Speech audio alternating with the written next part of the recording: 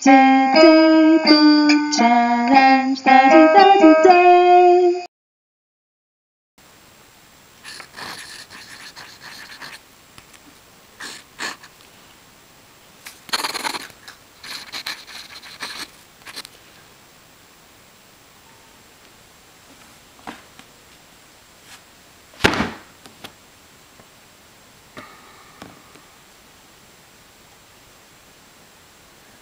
Voilà, c'est celui-là mon livre préféré. Un de mes livres préférés.